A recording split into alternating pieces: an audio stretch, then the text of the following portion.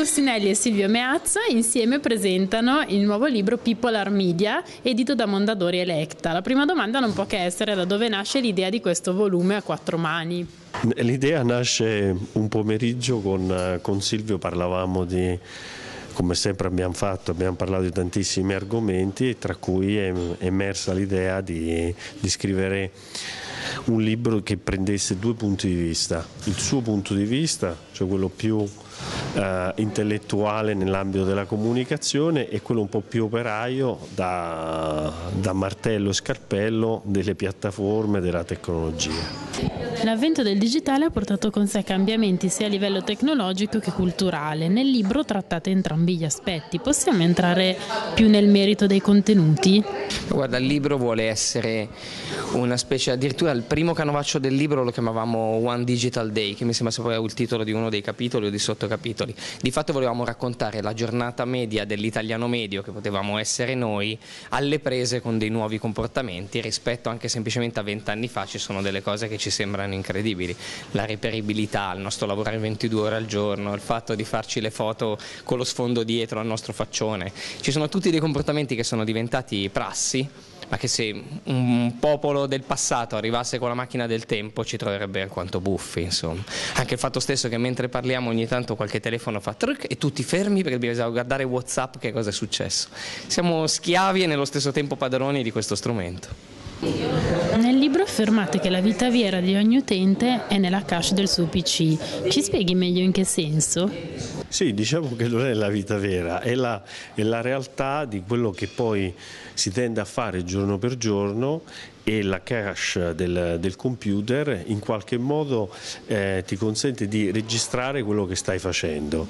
Eh, molto, molto, spesso quello che accade è di, eh, indipendentemente da cancellare un cookie o non cancellarlo, effettivamente un elemento che registra questa memoria che abbiamo continuamente è ogni volta che facciamo una ricerca. Quindi chi più di, della cache di un computer ti sa dire che cosa hai cercato cercato otto settimane fa o quello che era il tuo desiderio di viaggio e poi quello che effettivamente hai fatto.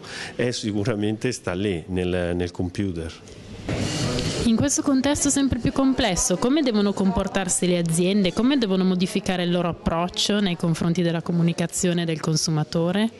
Il, um, il, discorso è che noi non possiamo prescindere, come dicevamo prima, da questi comportamenti delle persone. L'unica cosa che possiamo fare è cavalcarli. Noi non possiamo pretendere di modificare una cosa che le persone fanno naturalmente. Se nel vagone medio della metropolitana media ora la gente è davanti a uno schermo, chi a messaggiarsi, chi a giocare a Candy Crush, probabilmente le aziende aziende che vincono sono quelle che riescono a tenere alta la conversazione anche nei videogiochi stile Candy Crush piuttosto che nella, nella fruizione di piccoli video magari di durata inferiori rispetto a prima però rilevanti nei contenuti, fruibili su uno schermo piccolo quindi magari sottotitolati, magari in formato quadrato perché la gente il telefono lo indossa per così e non per cos'ha Insomma, le aziende che vincono in questa battaglia sono quelle che riescono a, a cavalcare le regole del gioco senza per forza doverle modificare. Insomma.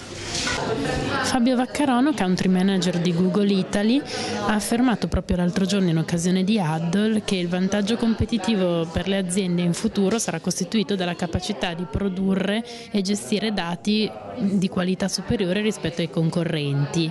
È d'accordo con questa affermazione? Ma i, i, dati oggi sono un elemento fondamentale. Questo uh, eccessivo utilizzo dei dati sta anche divenendo però dall'altra parte una, un problema per le aziende stesse perché sono così tanti i dati che poi bisogna capire quali di questi utilizzare.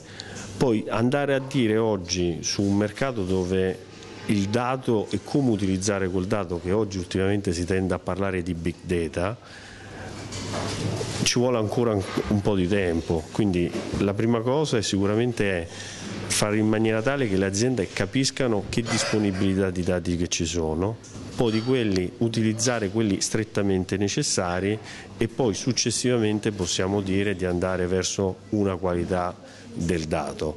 Tutto questo lo si può fare, eh, l'importante è trovare le risorse giuste questo, un, questo, diventa invece un problema per le, per le aziende perché c'è rarità di risorse, soprattutto in questo ambito, e poi dall'altra parte è non Uh, sovrabbondare di dati perché sono troppi e poi proprio in quel troppo non si riesce a capire quale poi effettivamente porta un vantaggio all'azienda e, e quindi come poter poi operare al meglio. E per raggiungere questo consumatore sempre più distratto, le agenzie come possono fare in termini di creatività? Ma ehm, le agenzie in questo contesto secondo me sono fortunatissime, non esiste un momento migliore di essere un'agenzia e di fare questo mestiere. Di fatto la possibilità che ci offre eh, la manipolazione e il controllo dei dati, come diceva Aldo, sono quelle di conoscere le persone a priori e quindi di poter fare dei messaggi sempre più targetizzati e mirati.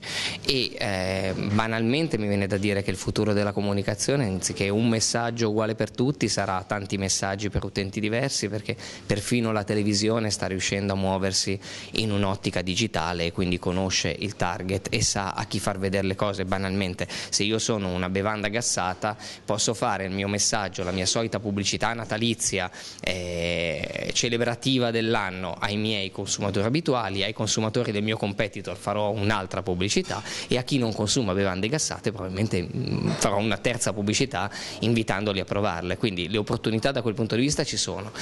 Quello che guida a mio avviso continua a essere l'idea, quindi l'idea creativa e le idee sappiamo che nascono, vediamo in quegli eventi tipo il Festival di Cannes, le idee nascono sempre semplici e poi vanno sui mezzi del momento, non è mai il contrario, nessuno dice adesso faccio un'idea Facebook o l'idea è Facebook, Facebook è un mezzo, ci stanno 26 milioni o 30 milioni di italiani a seconda delle rilevazioni e molti sono falsi, quindi diciamo un po' meno, però ci stanno milioni di italiani e quello è un media, le persone lo usano un po' come usano Canale 5. Poi quello che io faccio su Facebook è l'idea e a quel punto io ho semplicemente nuove audience, ma le audience poi di fatto sono le stesse perché la persona è quella, semplicemente nella sua dieta, come la chiamiamo noi, noi media, nella propria dieta la persona sceglie se passare più tempo davanti al computer o passarlo davanti alla tv o probabilmente davanti a entrambi senza guardare la tv appunto perché sono distratte e quindi passano il tempo con, guardando la tv con uno schermo davanti, noi lo chiamiamo second screen, in realtà secondo me è il primo screen perché il secondo ormai è diventato quello che fa da rumore di fondo. Dobbiamo aspettarci un secondo volume? No, un secondo volume non lo sappiamo.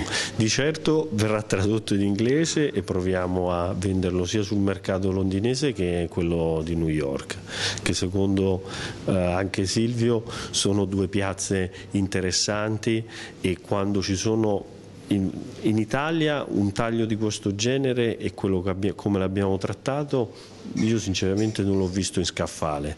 Eh, quello sicuramente sarà tradotto in inglese febbraio-marzo e vediamo se il mercato internazionale riesce ad assorbirlo oppure più che altro piacerà. Poi il secondo volume eh, ci pensiamo perché sono voluti due anni per scriverne uno